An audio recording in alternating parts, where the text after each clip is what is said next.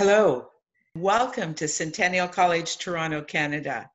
We're here to tell you about Centennial and the plans that we have for our students in the next coming year.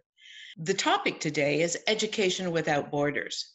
And we've been very busy making sure that we provide different opportunities, different options for students depending on where they are in the world and what their situation is. You're going to hear today from our academic uh, faculty and deans. You're going to hear from uh, support services that are available to make sure students can succeed in these new modes. And you're going to hear from uh, a number of uh, other areas that we have developed that we believe will make learning an exciting event for, for our students going forward. We'll also talk about how we can connect. So the first area that I want to talk about is our 45 online programs. Those 45 programs can be taken by students whether they have a visa or not. They will be fully available uh, to transfer to Canada when governments and borders and flights open up.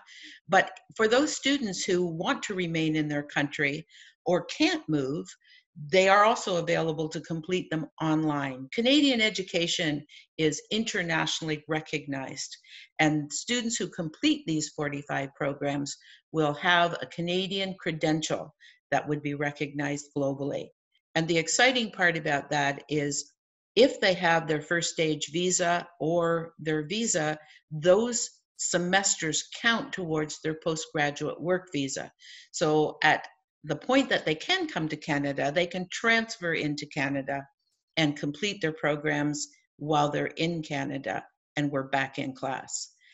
We also have a number of hybrid offerings, and those hybrid courses are ones with very high intensity applied labs. We have recorded many of those sessions so that they students can uh, have that simulation experience or if they can make it into Canada, they can attend in person. You'll be hearing about those programs from the various academic areas and how to access them. So, I guess the main message that we have for you is education doesn't have to go on hold during these periods. In fact, it shouldn't go on hold. I have always said that in difficult times is where we can uh, help students gain the skills that the employers are looking for.